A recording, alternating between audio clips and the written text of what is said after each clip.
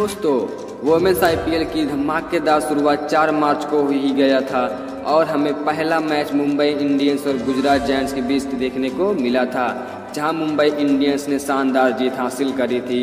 और वहीं 5 मार्च, यानी कल रविवार को हमें दूसरा मैच देखने को मिला, जो रॉयल चैलेंजर्स बेंगलोर और दिल्ली कैपिटल्स के बीच खेला गया, जिसमें दिल्ली ने शानदार 60 रनों से जीत हासिल करी।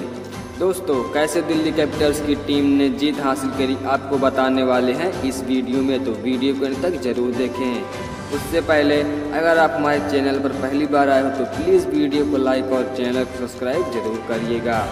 दोस्तों WPL का दूसरा मैच रॉयल चैलेंजर्स बेंगलोर और दिल्ली कैपिटल्स के बीच खेला गया, जहाँ आरसीबी की कप्तान स्मृति मानधाना ने टॉस जीतकर पहली गेंदबाजी करने का फैसला किया। दिल्ली की तरफ़ से पारी की शुरुआत से फाली वर्मा और मैगलेनिंग ने करी और इतनी ताबड़तोड़ करी कि आरसीबी के पसीने निकाल दिए।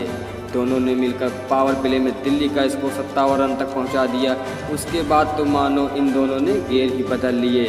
दोनों ने मिलकर चौकों और छक्कों की बरसात चालू कर दी। देखते ही देखते से फाली वर्मा ने अपना अर्थ तक पूरा कर लिया और 10 ओवर में ही दिल्ली का स्कोर सौ के पार कर दिया। इसके बाद ग्यारहवें ओवर में कप्तान मेग लैंडिंग ने भी शानदार बल्लेबाजी करते हुए अपना अर्थ तक पूरा किया।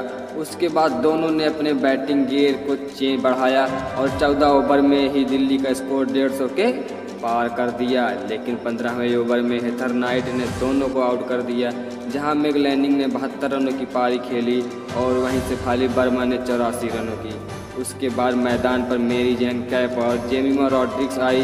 दोनों ने आते ही चौकों छक्कों की बरसात कर दी और दोनों ने मिलकर दिल्ली का स्कोर 20 ओवर में 223 रन तक पहुँचा दिया। मेरी जैन कैप ने उनतालीस रन और जेमिमा रॉड्रिक्स ने 22 रन की शानदार पारी खेली और बेंगलोर टीम को 224 रनों का लक्ष्य दिया।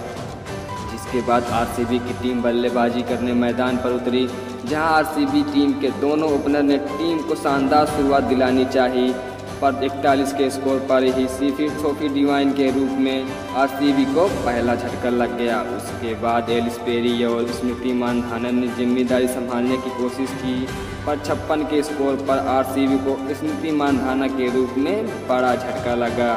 स्मृति मानधाना पैंतीस रन बनाकर आउट हो गई। उसके बाद मानो आरसीबी के विकेट गिरने की झड़ी लग गई, जहाँ आरसीबी ने 117 के स्कोर पर ही अपने सात विकेट गंवा दिए, जहाँ तारा नॉरिस ने दिल्ली की तरफ़ से सबसे ज़्यादा चार विकेट चटकाई। आरसीबी की टीम ने 20 ओवर में आठ विकेट खोकर एक रन ही बना पाई और दिल्ली को 60 रनों से शानदार जीत हासिल हुई।